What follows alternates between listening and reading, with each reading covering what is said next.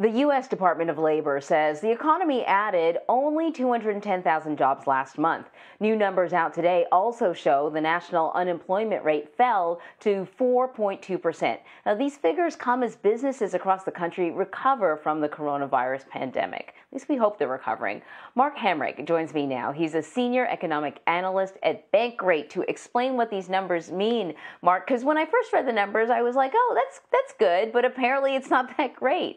Um, um, what are November's numbers telling us about the current state of the economy? Good morning, Anne Marie. Well, I think first of all, we get some uh, contradictory signs in this report, as you indicate.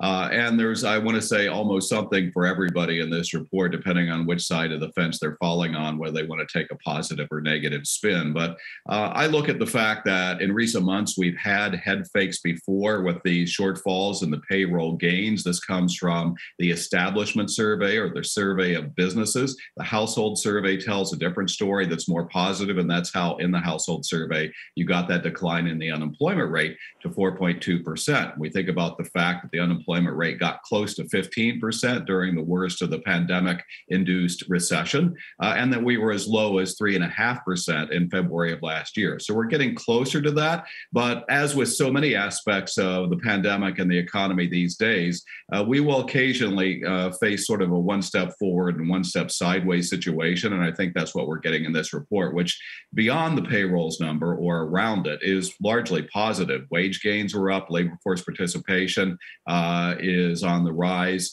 So uh, there are some positives in this report, as well as that shortfall that you mentioned.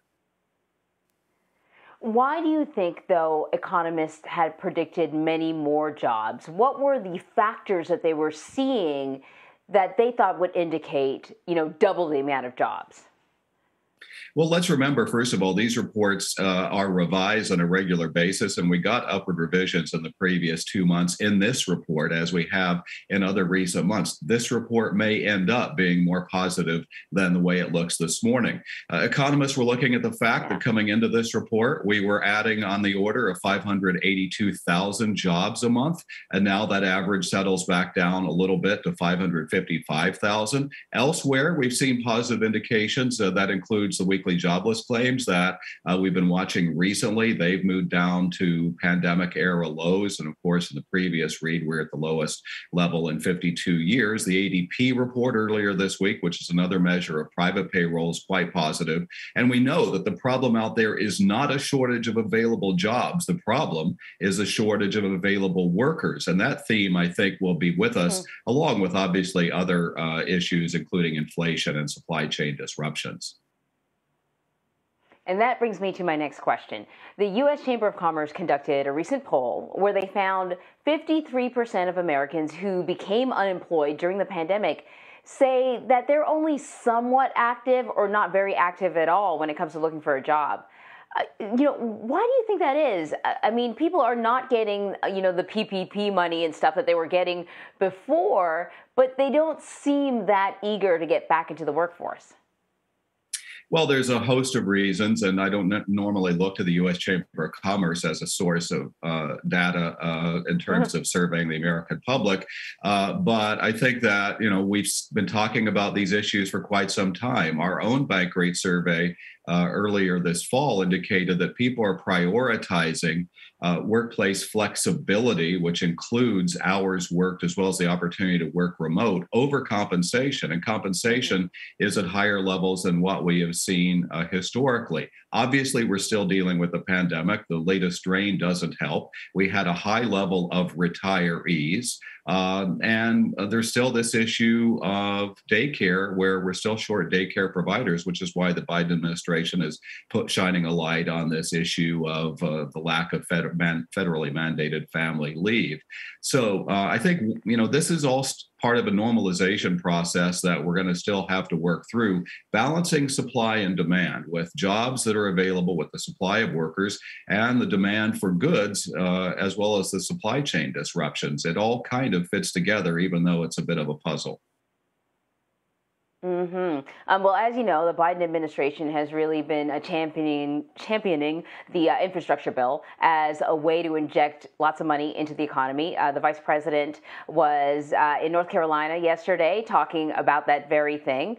what do you hope comes out of this infrastructure bill in terms of its impact on the economy? Because the thing about it is, these are really like long-term projects. You know, a, you got you plan a bridge, you're not going to suddenly employ people tomorrow. It's going to be over a long period of time. That's right. And uh, you haven't had people really uh, ratcheting up their forecast for GDP in the near term by significant uh, margins because this is a long term consideration. And, you know, the joke here in Washington, I'm just outside the Beltway, as you can tell, working from home, but the joke in Washington and elsewhere has been for years that it's infrastructure week. And now that's finally arrived. And we're reminded of the need for this funding every time we go out on the road, right? And see the potholes uh, or the bridges that you're looking at and saying, oh, that looks a little rusty. Uh, so this is investment in the long term in a town where we just kicked the can down to February in terms of government funding. So, uh, you know, this seems to have been the uh, something outside the norm in the sense of a, a, look at the long term, which has been sorely needed. And whether it's investment in, uh, let's say, broadband, which we know many communities across the country have been left behind with that and therefore not able to uh, do what they needed to accomplish during this pandemic. We've really brought forward a lot of innovation during the pandemic, which is a wonderful thing, along with the miserable and heartbreaking aspects of the pandemic. And the infrastructure funding will help to keep that going and pay attention to things things that have been uh, not getting the love they needed for many years now. Mm-hmm. Um, Mark, as you know, there's been a lot of talk of inflation, and that's directly connected to how people feel about the economy. Sometimes it's not even what they're actually experiencing, it's just how they feel, consumer confidence. I want to get your take on the type of inflation that we're seeing now. Um, I know it's connected to the pandemic. I know it's connected to um, you know the inability for people to to get what the things that they need. Um, but do you see it as something that is specific to certain products? And so as a result, we're feeling it. You want to buy a car, you can't get the, the chip that you need, so your car's delayed. Or do you see the inflation as something that's more widespread and may be lingering with us for a while? I think it's quite widespread, and I think that's why it's showing up in the measures of consumer confidence, particularly the University of Michigan survey. Uh, and I think that, you know, we think about the fact that the pandemic really exacerbated wealth and income inequality. Plenty of people have done well during the pandemic, particularly those of us fortunate to work home, work at home, uh, and to keep our jobs. But for those who uh, were not as fortunate or may have lost their jobs, remember we lost 22 million jobs in March and April of last year. So on the question of inflation, it is is quite broad based, and we just simply don't know how persistent it's going to be. I think that, as Chairman Powell has said um, multiple times uh, in his job as uh, leading the Federal Reserve, this is a time for humility.